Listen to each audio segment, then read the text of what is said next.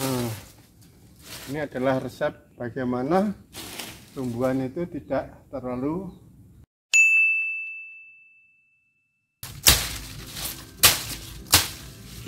Ini pohon kelengkeng yang mati nih. Hmm. Eman-eman ya Pak De. Iya, iya. Macam tanduran Iya. itu ya. Ngororo. Ora urip ya mati. Ya. Ay. Ya, ya. Ini waduh. Rumputnya sudah tumbuh subur. Ditinggal beberapa hari ya Pak De. iya. Rumputnya sudah subur. beratnya nih harus wah ini berarti cangkel dulu nih akarnya udah kuat nih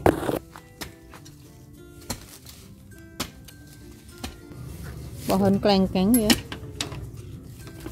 Oke. Kelengkeng. ini masalahnya apa enggak tahu ini Kok aneh, rada susah nanam kelengkeng di tanah sini. Maneman tuh.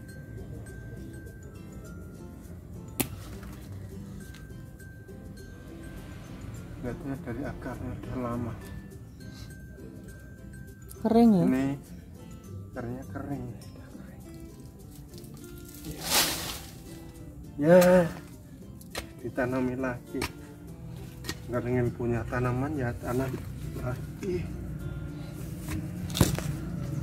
Nah nih hmm, udah dapat banyak. Ini masih ini tak bersihkan dulu ya dicabut ada juga yang susah sini saya kecil-kecil. Awas ada peralon kecil, peralon air. iya.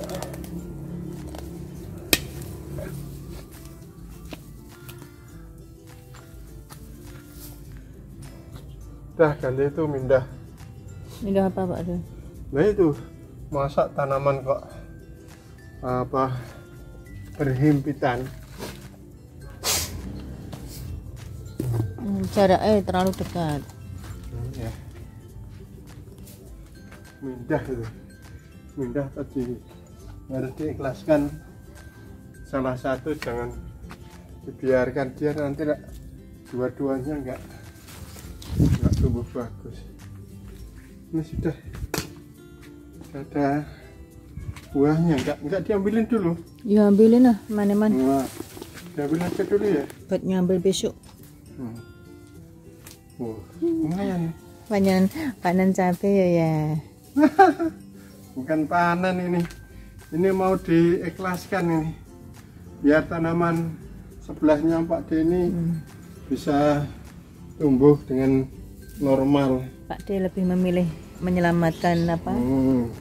iya kalau tanam jeruk kan butuh waktu yang lama tidak cukup satu bulan dua bulan kalau ini kan dan juga kita sudah punya kelompok di sebelah sana ada beberapa pohon kalau jeruk yang jenis ini jeruk siam ini ini hanya satu satu satunya makanya harus di dirawat dipupuk jangan sampai ada yang mengganggu Hmm, mana Eh, ini. D? oh. Oh ya. Oh lumayan ya ya.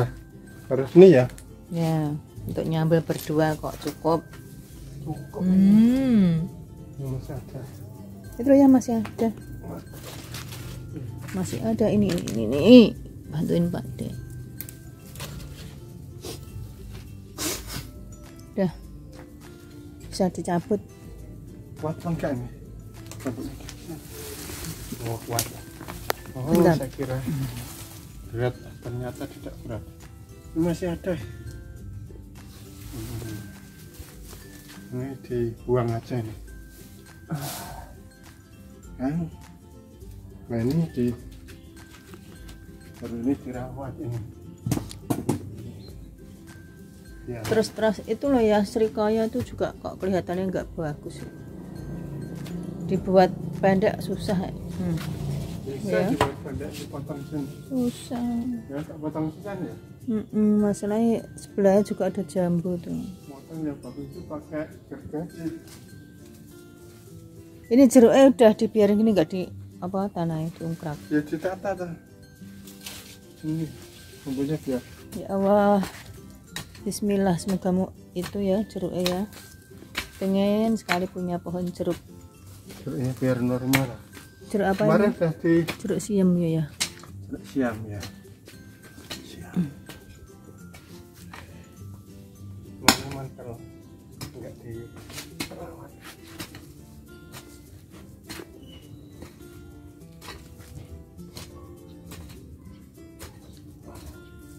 ini kan bagus ini. Nah iya dah. Oh.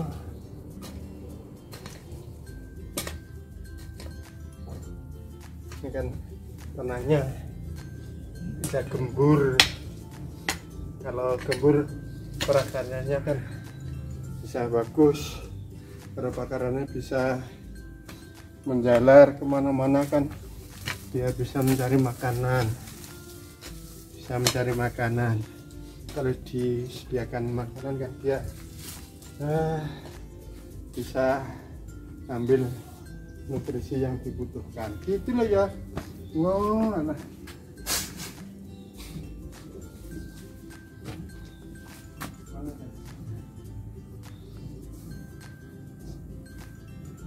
Ini ya ini dipotong ya? Nggak terlalu tinggi. Aku biasanya pakai gergaji bisa rapi dulu ya Hmm. Ini adalah resep bagaimana tumbuhan itu tidak terlalu tinggi. Hmm. Nah, biar yang merawat kita harus pakai tangga. Ini potong ya? Mm-mm.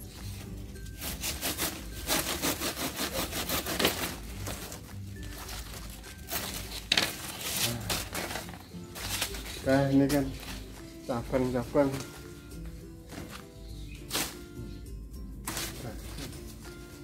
Balikkan aja.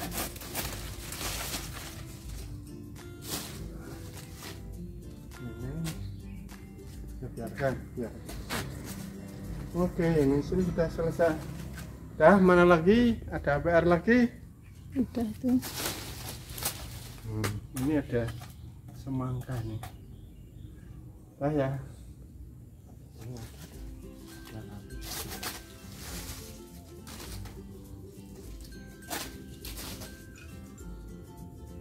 Nah, kita buangnya dulu ke tempat sampah.